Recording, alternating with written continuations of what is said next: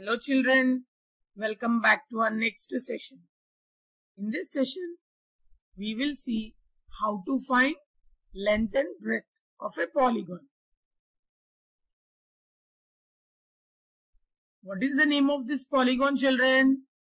Yes, it is a rectangle. It is a rectangle. And what is the name of this polygon? It is a square. They both are quadrilaterals. A simple closed figure bounded by four line segments is called quadrilateral. In that examples are square and rectangle. A rectangle is a special quadrilateral which is having four sided. It is a four sided polygon with two pairs of opposite equal sides. With two pairs of opposite equal sides. In rectangle, all the four sides are not equal. Only opposite sides are equal. It is a four-sided polygon with two pairs of opposite equal sides. The measure of the longer side is called the length. Smaller side and this is longer side. This longer side in the rectangle is called length. The measure of the shorter side is called width or breadth. Longer side is called length and shorter side is called breadth or width. Width or breadth. The measure of the longer side is called the length and the measure of the shorter side is called width or breadth. Coming to square, it is a special rectangle. This is also called as rectangle. In rectangle, two pairs of opposite equal sides are there. But coming to square, where all four sides are equal. So in a square, the length and width are the same. If this is 5 centimeters and the breadth also will be 5 centimeters. In rectangle, if this is 7 centimeters, the breadth will be 5 centimeters or 4 centimeters less than the length. In rectangle, the breadth or width is less than the length. Coming to square, all the sides are equal. So the length and width are same. Underline children, in rectangle is a special quadrilateral. What is the meaning of quadrilateral? A four-sided polygon with two pairs of opposite equal sides. Opposite sides are equal in rectangle.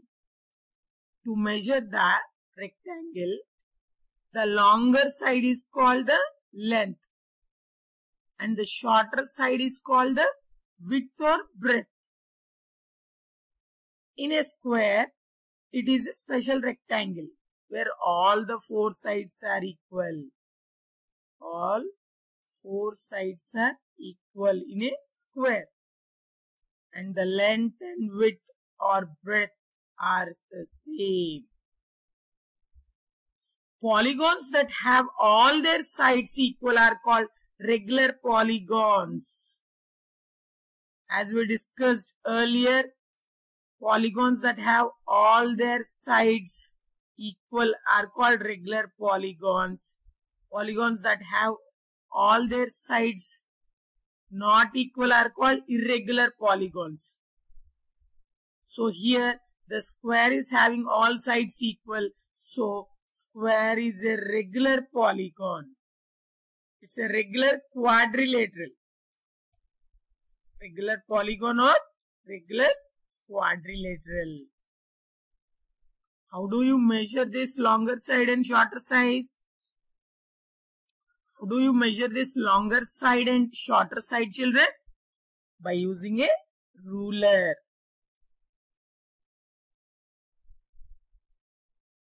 It's practice time. A few rectangles are given in the table. Complete the table by measuring their lengths and breadths.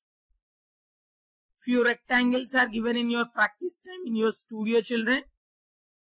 So you have to complete the table by measuring their length and breadth. Now tell me children, what is the length and breadth here? The longer side is called length. The shorter side is called breadth. You have to measure using ruler and you have to write here the measurement of this rectangle. In the same way you are having few more examples. So you have to complete that in your studio. Now, think and ink.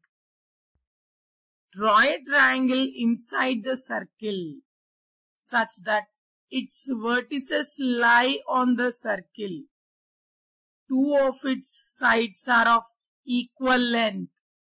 You have to draw a triangle inside the circle. This is the circle and you have to draw a triangle inside the circle.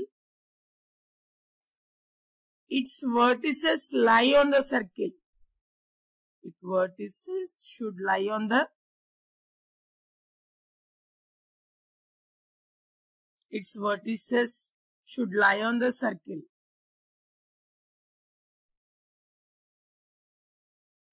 Two of its sides are equal length. Take 4 centimeters or 5 centimeters of equal length. Draw two line segments with the same length.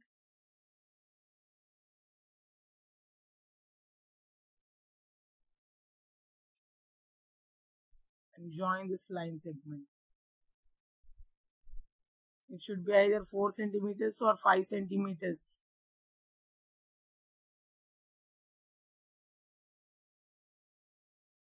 Okay children. Its vertices. Did the vertices lie on the circle? Yes. This is vertex. And this is one more vertex. And this is also the vertex. Two of its sides are equal length. And the other side is different. So, in the same way, you have to draw a triangle inside the circle such that its vertices lie on the circle and two of its sides are of equal length. You can do it children. Yes, take a ruler and do it by yourself. In the same way, here also you are having few more problems. You have to do that. Second one. In the first question, you have to draw a triangle, but here you have to draw a square inside the circle such that its vertices lie on the circle. Same way, take a ruler and take equal length of line segments and draw a square in the circle. Question number 3. Draw a hexagon inside the circle such that all its vertices lie on the circle. In this circle also you have to draw a hexagon. Hexagon means a polygon with six sides. A simple closed figure bounded by six sides is called hexagon. You have to check that the vertices are on the circle or not. You can do it children.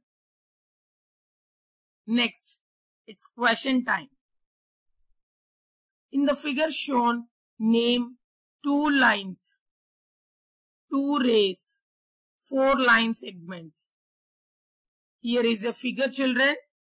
You have to name any two lines, two rays and four line segments. Example, what are the two lines? Line DC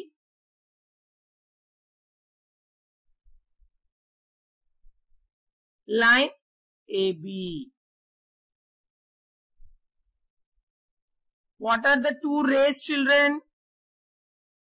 Yes. Ray BA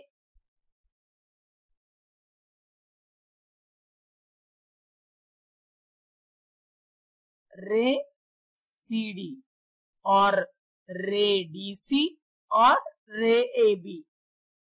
You have to name any two. Next, four line segments. Name the line segments, children.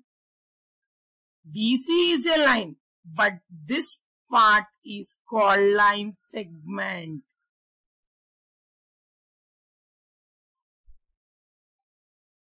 Line segment DC, line segment AB.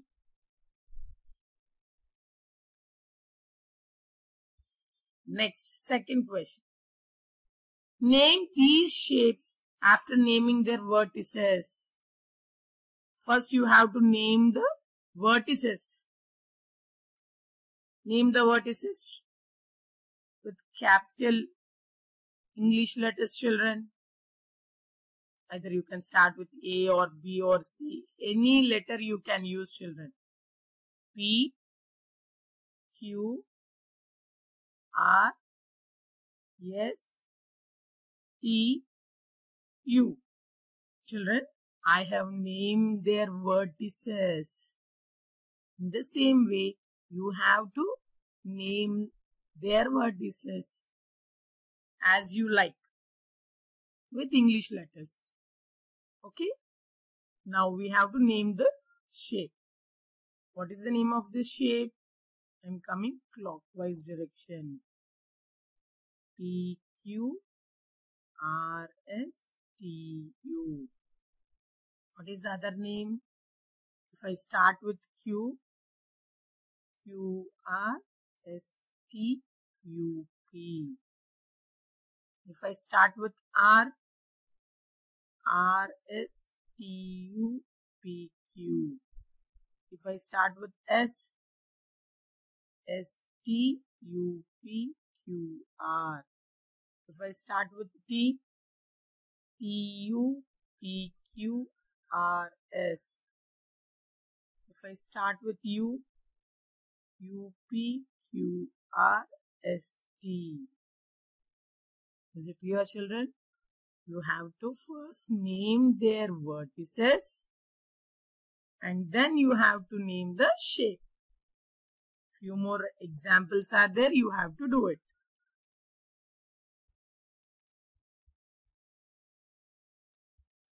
Here in the question 3, you have to measure the length and breadth of these rectangles.